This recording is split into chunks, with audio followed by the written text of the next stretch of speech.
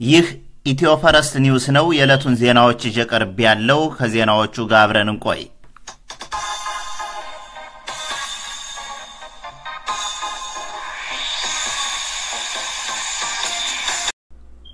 ጤና ይስጥልን የ Ethio First News ቤተሰቦች፣ የዕለተ ረቡዕ ዜና ይዘን ቀርበናል። ዜናዎቹ ጋር አብረን እንቆይ። ጠቅላይ ሚኒስትር ዶክተር አብይና መንግስታቸው በህዝብ ህልውና ላይ የተጋረጠውን ወረርሽኝ ለመቋቋም ጥሩ አመራር እየሰጡ መሆኑ ተገለጸ። ጠቅላይ ሚኒስትር ዶክተር አብይና መንግስታቸው በህዝብ ህልውና ላይ የተጋረጠውን ወረርሽኝ ለመቋቋም ጥሩ አመራር እየሰጡ መሆኑ ዛሬ ተገለጸ። ጊዜው የትብብርና ህዝባችንን ለመታደግ ከመንግስት ጋር በመመካከር ከህዝብ ጋር በመቆም ሁሉም የበኩሉን ድርሻ መወጫ እንጂ ዳር ቁሞ የመተቻ ጊዜ አይደለም። ይህ አደጋ በሁሉም ላይ የመጣ የህልውና የመኖር ያለመኖር አደጋ ነው። በዓለም ህዝቦችና ሀገሮች ላይ ሁሉ የመጣውን ይህን የወረርሽኝ አደጋ ይህን ብሔር፣ የፖለቲካ ፍልስፍና፣ እድሜና ጾታ የማይለይ ሚሊዮኖችን እያሰቃየ መቶ ሺዎችን በመግደል ከዳር እስከ ዳር እየተዛመተ የሚገኝ ትልቅ የጋራ ጠላት ላይ መረባረብ ሲገባ ጊዜያዊና መናኛ የፖለቲካ ትርፍ ለማግኘት መራሯት ከባድ ታሪካዊ ስህተት ብቻ ሳይሆን በሀገርና በህዝብ ላይ የሚፈጸም ወንጀል ነው። ፖለቲካውም፣ ስልጣኑም፣ ክብሩም፣ ጥቅሙም ወይንም ሌላው ሁሉ እውን የሚሆነው በቅድሚያ ህዝብና ሀገር ሲኖሩ ነው። ህልውናቸው መኖራቸው አለመኖራቸው ሲረጋገጥ ብቻ ነው። በዚህም ክፉና ከባድ የፈተና ወቅት የሁሉም የህብረተሰብ ክፍሎች፣ የፖለቲካ ኃይሎች፣ የዜጎች ሁሉ ለሀገርና ህዝብ የሚበጀውን ርብርብ ማድረግ ወሳኝና የተቀደሰ ተግባር ነው አሉ አቶ ነአምን ዘለቀም። በሌላ ዜና ቻይናም የወረርሽኙን የመጀመሪያ ሁለት የህመም ደረጃዎች ለማከም የተጠቀመችባቸውን የባህል መድኃኒቶች ለኢትዮጵያ በድጋፍ መልክ ልሰጥ ነው። በተለይ የወረርሽኙን ህመም የመጀመሪያ ሁለት ደረጃዎችን ለማከም የተቀመጠውን ሁለት የመድኃኒት አይነቶች ለኢትዮጵያ በድጎማ መልክ ለመስጠት መስማማቷን የኢኖቬሽንና ቴክኖሎጂ ሚኒስቴር ዛሬ አስታወቀም።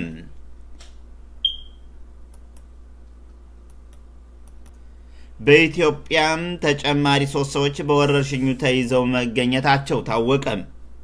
ኢትዮጵያም ያለፉት 24 ሰዓት የላብራቶሪ ምርመራ ካደረገችላቸው 225 ሰዎች ውስጥ ሶስቱ ሰዎች የወረርሽኝ መያዛቸውን የታወቀ ሲሆን ይህም በበሽታው የተያዙ ሰዎች ቁጥር ወደ 55 ከፍ እንዲል አድርጎታል።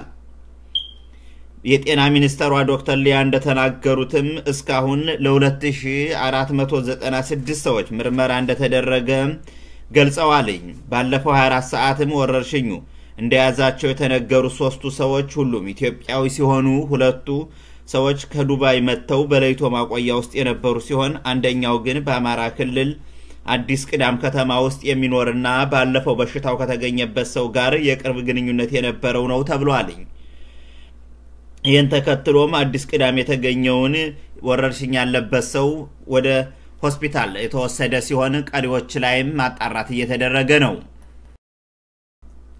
የሕዝብ ተወካዮች ምክር ቤት አስቸኳይ ጊዜ አዋጅ አጸደቀ።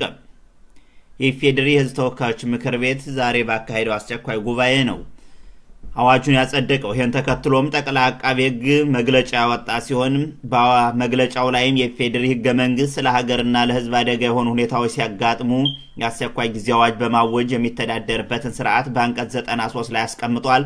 በአንቀጽ 93 ሀ መሰረት የአስቸኳይ ጊዜ አዋጅ እንዲታወጅ መነሻ ከሚሆኑ ሁኔታዎች አንዱ የሕዝብን ጤንነት አደጋ ላይ የሚጥል በሽታ ሲከሰት የሚል ነው።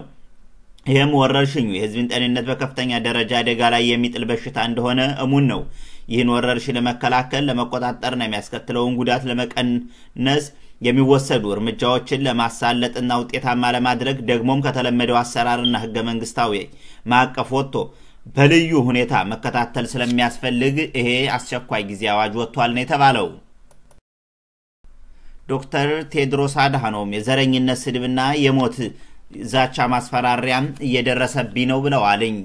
ኢትዮጵያዊው የዓለም ጤና ድርጅት ዋና ዳይሬክተር ዶክተር ቴድሮስ አድሃኖም ዛሬ በመግለጫቸው ላይ በተደጋጋሚ በጥቁርነት የዘረኝነት ስድብ እየደረሰብኝ ነው፣ የግድያ ዛቻም ተፈጽሞብኛል፣ ይሁን እንጂ እኔ አልፈራም ነው ያሉትኝ።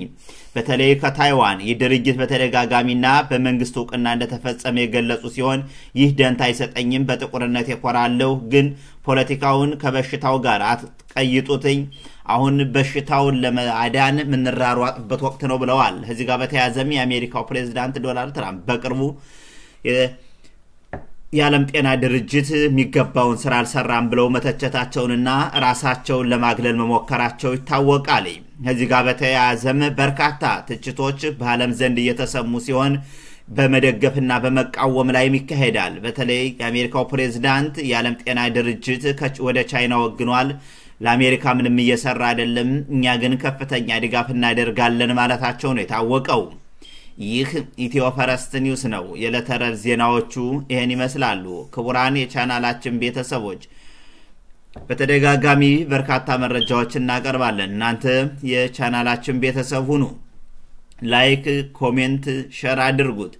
አዲስ ከሆናችሁ ደግሞ ቻናላችንን subscribe በማድረግ የ Ethio First News ቤተሰቦች ሁኑ። Ethio First News በየቀኑ በየሰዓቱ በየደቂቃው ለእናንተ የተለያዩ መረጃዎችን ይዞ የሚቀርብ ታማኝ የዜና ምንጭ ነው። የዛሬውን በዚህ ጨረስን። በቀጣይ በሌላ ዘገባዎች እስከምንገናኝ ሰላም ሁኑ። ለሁላችሁም ሰላሙን ተመኘን። ሰላም